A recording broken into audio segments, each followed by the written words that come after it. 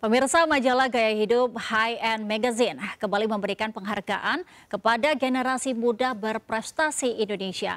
Penghargaan High End di Alpha Under 40 kali ini dianugerahkan kepada 18 sosok muda dengan tema Creating Next Generation Leaders. Penghargaan High End The Alpha Under 40 kembali digelar majalah Gaya Hidup High End Magazine kepada 18 pemuda dari latar belakang yang berbeda.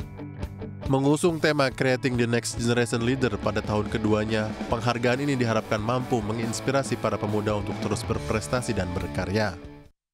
Temanya Creating uh, Next Generation Leaders, di mana kita uh, mengharapkan bahwa kaum muda itu bangkit untuk menjadi leaders-leaders yang bertanggung jawab, yang tangguh tentunya.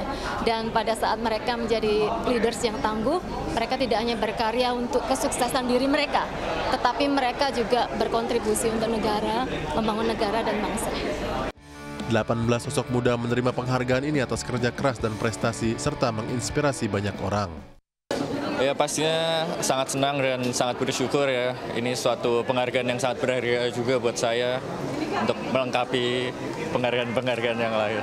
Well, I feel very honored uh, menjadi bagian dari salah satu dari yang menerima uh, penghargaan ini. Uh, kalau dianggap sudah memiliki apa uh, pengaruh yang baik untuk masyarakat ya saya syukur alhamdulillah. Saya senang banget menjadi penyandang disabilitas tuli, the one and only di sini dan bangga banget mendapatkan penghargaan menerima apa adanya dan memaksimalkan kelebihan yang kita punya. Aku yakin banyak teman penyandang disabilitas walau terbatas tapi banyak kelebihannya.